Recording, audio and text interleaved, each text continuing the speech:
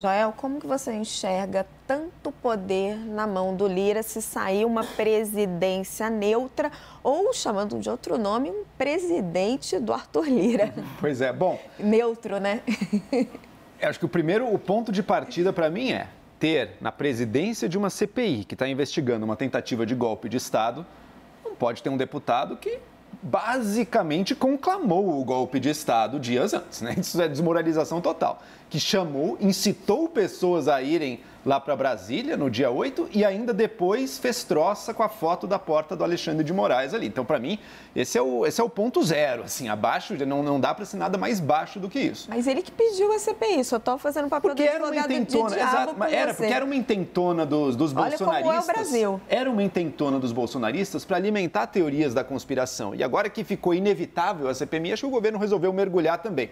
Mas o segundo ponto, não seria tão baixo, mas seria ruim também ser um nome do governo, do PT, na presidência da CPMI. Afinal de contas, o governo vai estar sob a investigação ali também. Quais as omissões que o governo fez, ou até para as teses mais conspiratórias, elas vão estar presentes ali, pode ter certeza. E para que mesmo elas recebam tratamento justo, não é para estar alguém do governo ali.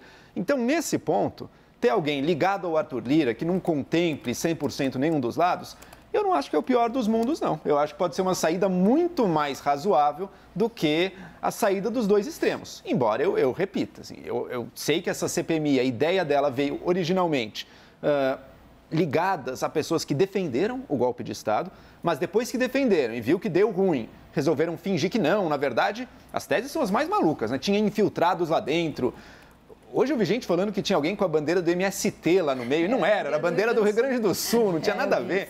Agora tem gente, deputados federais, hein? Falando que a presença de um fotojornalista ali, de alguma maneira, também levantaria suspeitas seríssimas. Isso é grave, era um jornalista fazendo o trabalho dele ali dentro. Estão demonizando a categoria do jornalismo só para alimentar teorias dos golpistas também. Então, uma CPMI que foi criada sob esse manto e sob esse espectro, agora chegaram esses vídeos como uma verdadeira bomba, tá tudo no ar a discussão, ninguém está entendendo nada, ela se fez quase que obrigatória.